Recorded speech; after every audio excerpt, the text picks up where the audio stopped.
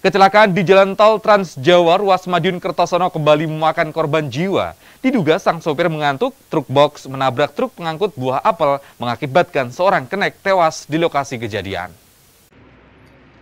Peristiwa kecelakaan lalu lintas di jalan tol Trans Jawa ruas Madiun Kertosono ini terjadi di kilometer 620B, tepatnya Desa Bongso Potro, Kecamatan Suradan, Kabupaten Madiun.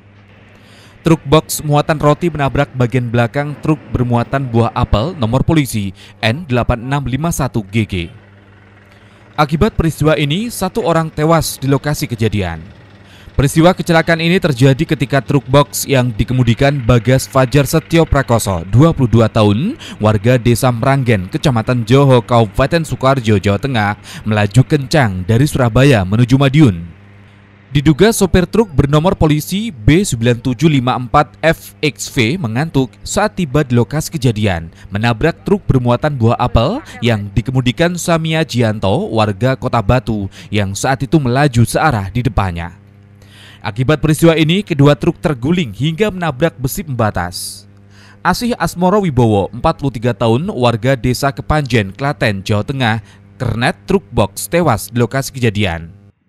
Bapak dari mana? Dari arah sana ke sini. Ah, terus?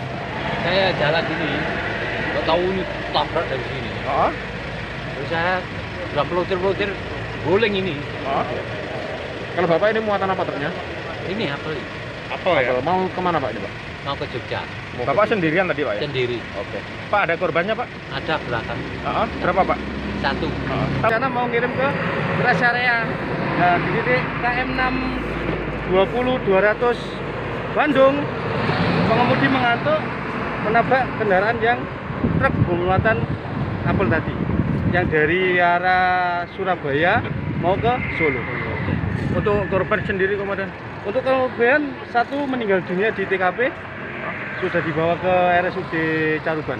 Itu pengemudi atau kernet dan? Kernet, kernet dari truk box yang menabrak dari belakang tadi. Korban tewas dalam kecelakaan ini langsung dievakuasi ke kamar jenazah Rumah Sakit Umum Daerah Caruban. Sementara kasus kecelakaan ini kini ditangani unit Laka Lantas Polres Madiun. Kedua kendaraan tersebut langsung dievakuasi di exit tol Madiun. Tova Pradana, JTV, Madiun.